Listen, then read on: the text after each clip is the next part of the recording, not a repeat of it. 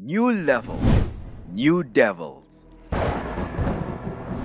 There is a type of order to spiritual warfare.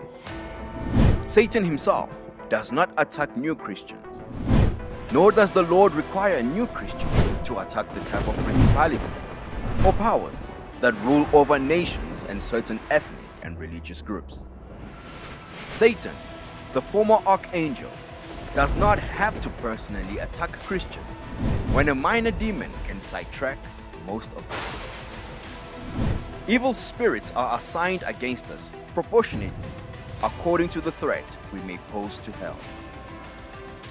With each new spiritual level attained, there is a fiercer, more adept enemy awaiting us. We are to grow up in Christ in all aspects, who is the head. Question Are you doing what Jesus did? Jesus loved. Do you love? Jesus served. Do you serve?